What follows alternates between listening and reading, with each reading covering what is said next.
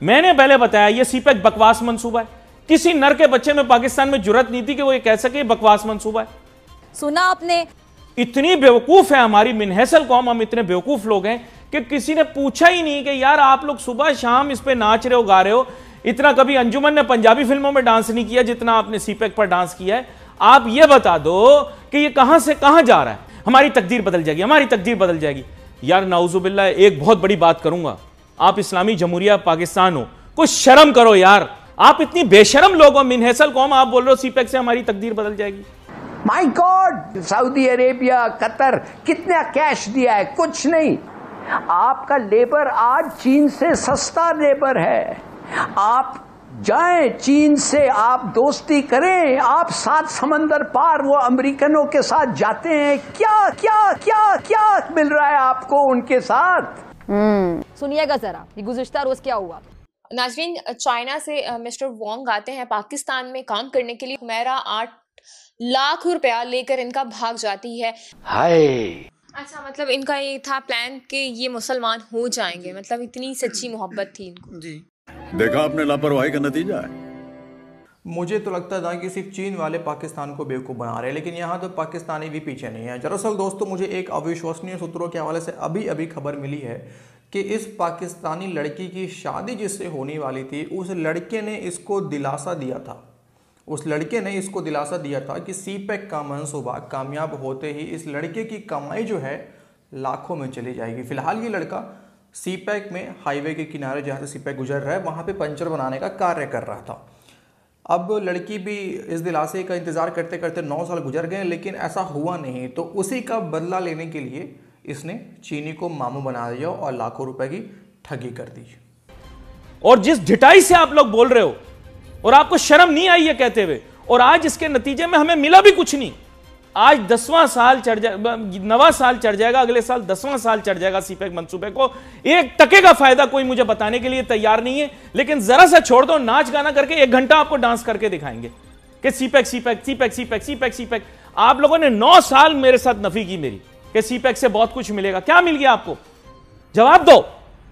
नाजरीन, चाइना से mister Wong आते हैं पाकिस्तान में काम करने के लिए और अब ये पाकिस्तान और लाहौर में, लाहौर शहर में, पाकिस्तान का जो शहर है लाहौर, वहाँ पर एक कंपनी में इंजीनियर हैं। वहाँ काम कर रहे हैं। चिन्योट की एक लड़की से इनकी मुलाकात होती है और उस मुलाकात के बाद ये मिस्टर वोंग उसको अपना दिल दे बैठते हैं और उसके बाद पाकिस्तान की जो लड़की है चिन्योट की उसका नाम अ, हुमैरा है और हुमैरा इनके साथ फ्रॉड करती है सारी बातें होती हैं सब कुछ होता है लेकिन उसके बाद हुमैरा आठ लाख रुपया लेकर इनका भाग जाती है 这个红梅拉尤纳斯，然后呢，跟他交往了三个多月、四个月左右，从四月十几号开始到七月份底，然后总共四个月， 然后这期间他在我那里拿走现金四十多万，然后买衣服十五万左右，呃，又有又给了他一台冰箱，价值三万八，一个充电宝，还有一个无线的蓝牙耳机，还有一个新的电风扇，价值六十多万。 आ, हमें बताइए कि इन्होंने क्या किया ये कह रहे हैं कि अ, चौथे महीने में इनको मुलाकात हुई थी ठीक है मुलाकात मुलाकात के इसी बाद- साल इनकी मुलाकात जी, हुई इसी साल तो चौथे महीने में इनको मुलाकात हुई उसके बाद अ, उन्होंने वादा किया कि मैं आपसे शादी करूँगी। ठीक है बकौल इनके। तो उस दौरान जब इनका रबता हुआ उस दौरान इन्होंने कोई पैसे वगैरह दिए। बकौल इनके चार लाख कह रहे हैं कि मेरा चार लाख रुपया उन्होंने लिया है। साथ में कुछ सामान वगैरह लेके दिया जिसमें फ्रिज वगैरह थी फर्नीचर वगैरह था। तो इस तरह की चीज़ें मिला के कुल जो ये कह रहे हैं ना आठ लाख रुपया कह रहे हैं।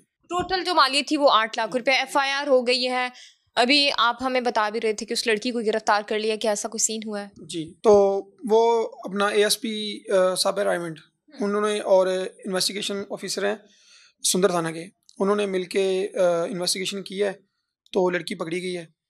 तो अभी एटीन को जो है ना इनकी डेट है तारीख है सॉरी तो इन्होंने जाना है अभी। अभी क्या कहना चाहेंगे? कैसे तमाम मामला हुआ? क्या लगता है कि उस लड़की अभी लड़की मान रही है चीज़ों के कि उसने चीज़ें ली हैं या नहीं ली? बकौल लड़की के वो कहती मैंने इनसे कोई चीज़ नहीं ली है। अच्छा तमाम प्लानिंग्स हो गई थी शादी की कि हम शादी करेंगे। कितनी देर बाद प्लानिंग हुई? अभी तीन महीने तो शायद इनका रिलेशन चला। प्लानिंग इन्होंने पहले ही की हुई थी। अ, सारी बातें इन्होंने पहले की हुई थी कि शादी होगी। ठीक है शादी के बाद अ, उसी दौरान इन्होंने मकान ले लिया और उधर बैरिया टाउन में। ठीक है बैरिया टाउन में मकान लेके तो उसका ये एग्रीमेंट है लेकिन वो शादी नहीं हुई। अच्छा तो क्या ऐसे मसले हुए कि शादी तक बात पहुँच ही नहीं सकी तमाम ब्रेकअप हो गया तमाम चीज़ें हो गई फिर अब ये प्रूफ सामने आ गए? इस चीज़ का तो इसको भी नहीं पता है ना मुझे पता है क्यों ब्रेकअप हुआ है। ये तो अभी जब अदालत में उनकी जो है पेशी है वहाँ पे पता चलेगा कि हकीकत क्या है। अच्छा हमें बताइएगा कि क्या उस लड़की ने आपको ब्लॉक कर दिया था? कैसे आपको पता चला वो आपसे रब्ता नहीं रखना चाहती है? 他问的就是那个女的就怎么跟你那个拉黑了。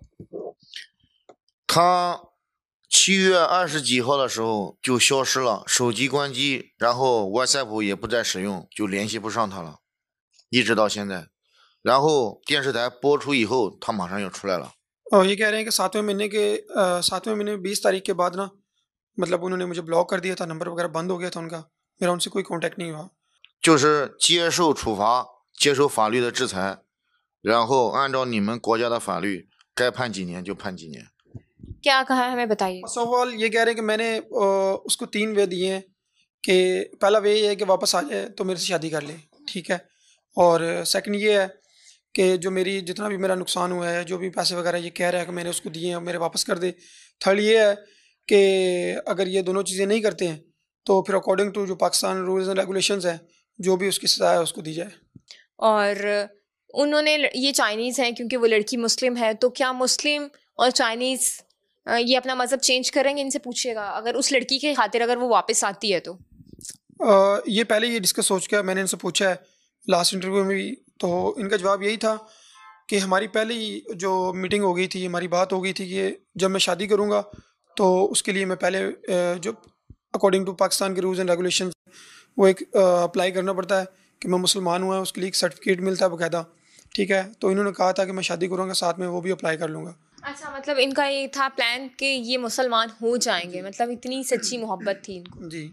कि क्या आपके ख्याल से एक ऑडिट नहीं होनी चाहिए कि 200 2014 से लेकर माजरत 2014 से लेकर 2021 तक जो एक ढोल बजाया गया सीपैक का और मैं तो कहूँगा 22 में भी वो दाखिल हो गया और अब 23 में भी जबर, भी ज़बरदस्ती उसको दाखिल किया जा रहा है। इसमें पाकिस्तान की इकोनॉमिक कंट्रीब्यूशन क्या रही और इससे हमें रिटर्न क्या मिला? अगर इसका ऑडिट हो जाए तो अच्छा नहीं होगा। आप जैसे मीशतदान तो हमेशा इस बारे में बात करते हैं कि शुमारियात को सामने रख के गुफ्तु की जाए और बहुत सारे शुमारियात तो आपको ज़ुबानी भी याद होते। हैं तो सर, अगर आप देखिए तो सीपैक की जाने पाकिस्तान ने जितनी इन्वेस्टमेंट की है, मेरे नज़दीक तो सीपैक एक ऐसा मंसूबा है जो कि पाकिस्तान की रिसोर्सेज को खा गया है। बेकार मनसूबा है। मैं आई बी वेरी फ्रैंक मेरे ख्याल से एक बड़ा ही बेकार मनसूबा है सीपैक इसका कोई फ़ायदा नहीं था, इसको शुरू ही नहीं करना चाहिए था। लेकिन खैर एनीवे अब हम इसकी तरफ़ चले गए। तो मैं आपसे जानना चाहता हूँ कि ऑडिट की जाए और ये पता किया जाए कि इसमें कितनी इकोनॉमिक कंट्रीब्यूशन एक गरीब मुल्क पाकिस्तान की हुई है और क्या हमें रिटर्न मिला है। पता लग जाएगा ना, सर, दूध का दूध पानी का पानी हो जाएगा। तो सीपैक से पाकिस्तान की मैसत ऊपर जाए या ना जाए, लेकिन पाकिस्तान का कर्जा जो है ना वह बहुत तेज़ी के साथ ऊपर जा रहा है। ये था आज का वीडियो, उम्मीद आपको पसंद आया होगा। हमारे चैनल पर अगर आप नए हैं तो चैनल को सब्सक्राइब ज़रूर से करना, बेल आइकन ज़रूर से प्रेस करना, और वीडियो को लाइक और शेयर करना बिल्कुल भी मत बोलना आप सब, आप सभी को एक बार फिर से हैप्पी होली। मिलते हैं आपसे अगले वीडियो में। जय हिंद।